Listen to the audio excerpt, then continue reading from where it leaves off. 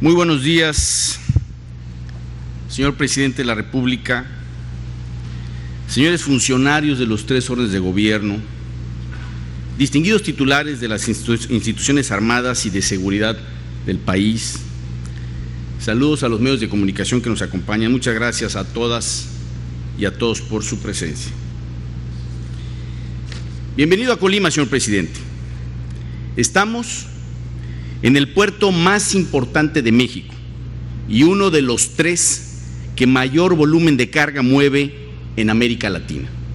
Este es el puerto por el que cruzó el presidente Benito Juárez en su liderazgo itinerante, asumiendo la identidad de la República frente a las fuerzas invasoras del país.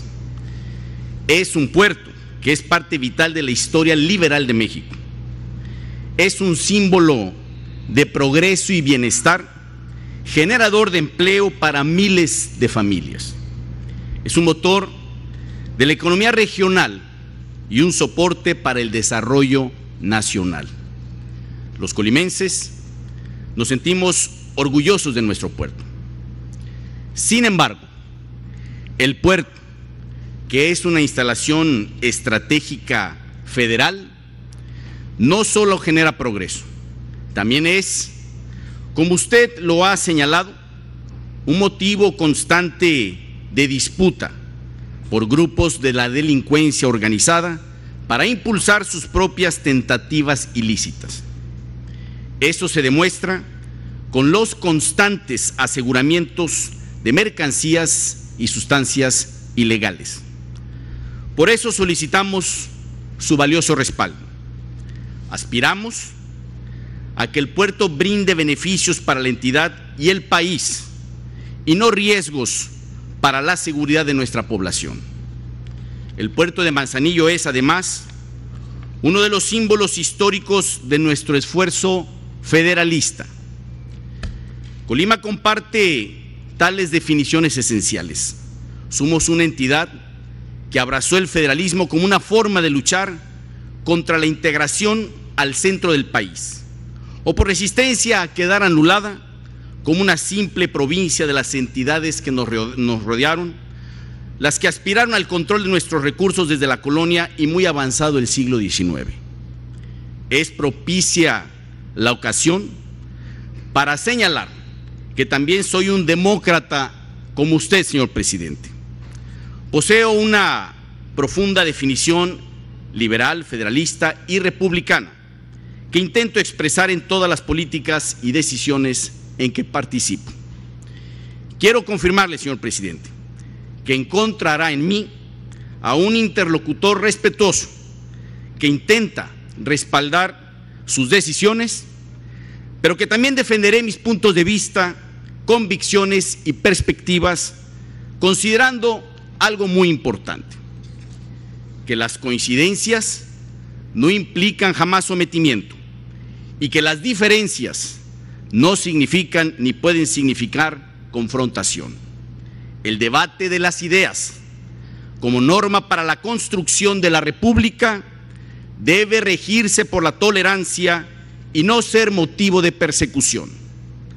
Estar conmigo o en mi contra atenta en contra del federalismo que cimentó a México desde la Constitución de 1824 con los ideales de Ramos Arispe, José María Luis Mora y Valentín Gómez Farías.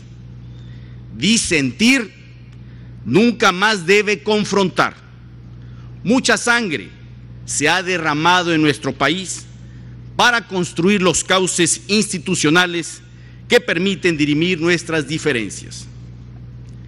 Aquí en Colima respaldamos con entereza decisiones impulsadas por su gobierno, como el INSABI y la creación de la Guardia Nacional, entre otras.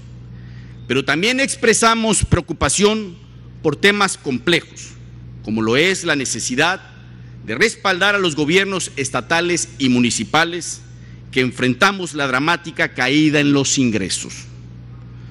Otro de los sólidos rasgos de solidaridad con el gobierno federal fue la decisión de impulsar acciones de control financiero, de austeridad en el gasto y de cuidado de los recursos.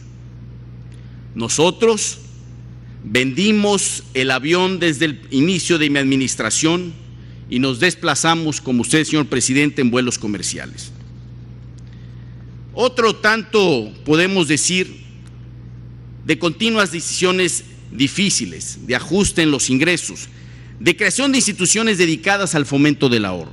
En suma, de cambios estructurales que tendrán efectos positivos en el largo plazo, porque más que pensar en elecciones, debemos pensar en las próximas generaciones. Pero las dificultades siguen y nos hemos visto obligados a emprender nuevos esfuerzos financieros para cumplir obras clave como el C5I, la remodelación del edificio histórico del Palacio de Gobierno y el combate al COVID que crece en la entidad. Creemos necesario, señor presidente, cada vez más revisar el pacto fiscal por el factor de distribución. Colima en especial aporta mucho a la federación y a cambio recibimos muy poco. Además, las participaciones federales siguen descendiendo, lo cual, lo cual nos coloca en situaciones apremiantes al gobierno estatal y a los gobiernos municipales. Hoy, como ayer, sigue válido el juicio certero de don Jesús Reyes Heroles, pues muchos capítulos de nuestra historia pueden comprenderse desde la pugna de dos tendencias fundamentales. La tendencia centrípeta, que intenta concentrar recursos y decisiones en el centro del país, y la tendencia centrífuga, que intenta consolidar las autonomías de las entidades periféricas, apropiándose de sus recursos, posibilidades y de su propio destino. Entre ambas fuerzas aún prevalecientes, nos seguimos ubicando en el debate nacional y debemos seguir encontrando equilibrios que favorezcan a nuestras sociedades mediante la doctrina federal que aquí en México está asociada al pensamiento liberal. La agenda pública se concentra en tres crisis simultáneas, generalizadas y exógenas que requieren soluciones estructurales. Me refiero a la crisis sanitaria por la presencia del virus SARS-CoV-2, la crisis económica que se prevé de dimensiones apocalípticas y la crisis de seguridad que es producto de un deterioro en nuestros valores colectivos como mexicanos. Es por ello que se requiere altura de miras, anteponer el interés de la República y de los mexicanos por encima de cualquier interés de corto plazo y además una no enorme inteligencia y capacidad para crear consensos.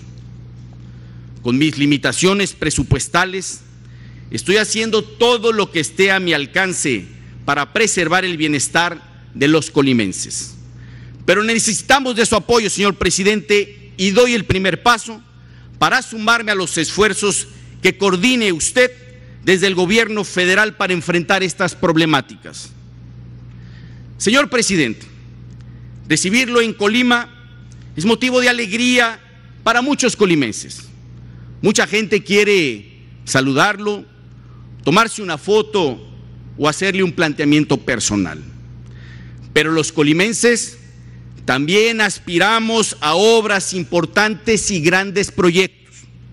Queremos noticias de alguna obra de gran aliento que signifique un impulso decidido a nuestro progreso o bienestar social. Por eso solicitamos su respaldo, señor presidente. Colima desea vivir y proyectarse al porvenir, desea construir su presente y garantizar su viabilidad. Así interpreto su presencia entre nosotros.